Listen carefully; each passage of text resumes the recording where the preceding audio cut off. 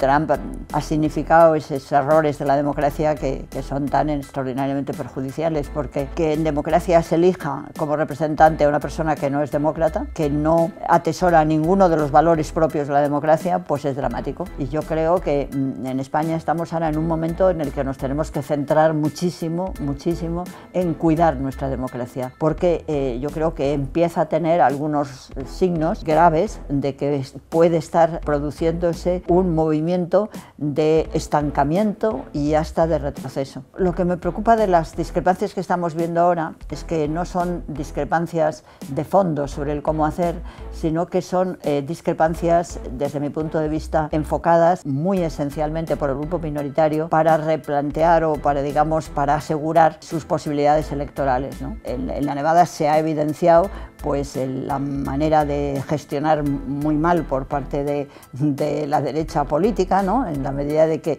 acostumbrada a recurrir al subterfugio exclusivamente de lo privado, pues no, ha tenido capacidad para estimular la necesaria improvisación en la administración. ¿no? no, me parece un disparate.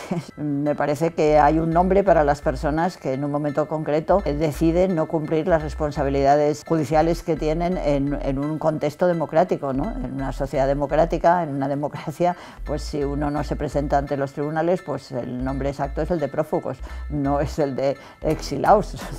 Para nombrar al Consejo General del Poder Judicial no hay que hacer pacto ninguno. Creo que sería importantísimo que los ciudadanos les pidiéramos al Gobierno que por favor se dejen de pactos y cumplan lo que dice la ley, que empiecen el procedimiento. Ahora mismo el gran problema no es tanto que haya diversas opiniones sobre los hechos, se inventa la realidad, se miente y se cuestiona, se crea una realidad ficticia que no es cierta